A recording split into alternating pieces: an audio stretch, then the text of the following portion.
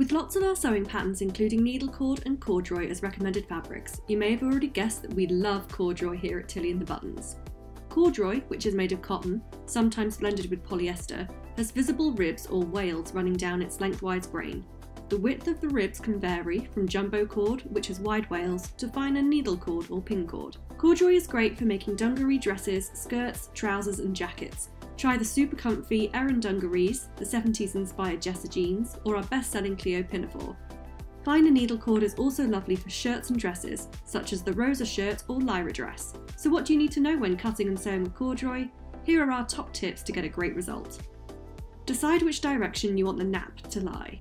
Run your hand along the corduroy's ribs. The pile will feel smooth one way, slightly rough the other way. It will also look slightly different from each direction, so decide which way you want the pile to lie before cutting out the pattern. Then cut all the pieces pointing in the same direction. Keep the ribs straight when cutting. Take extra care when cutting out the corduroy to keep it on the grain. Cut with the right side of the fabric up so you can see the ribs and line them up with the grain line arrows or fold lines of your pattern pieces. Keep the ribs straight when sewing. If you're sewing a straight vertical seam, such as the strap or the centre seams on the Cleo pinafore, take your time to sew in line with the ribs on the fabric, so you don't end up with twisted looking seams. When you're top stitching a vertical seam, such as down the sides of the patch pockets, keep the needle lined up with the channel between the ribs. Avoid squishing the pile. Lower the presser foot and the thread tension on your sewing machine so the pile doesn't get crushed. You could also increase the stitch length to 3mm, particularly if you're sewing jumbo cord.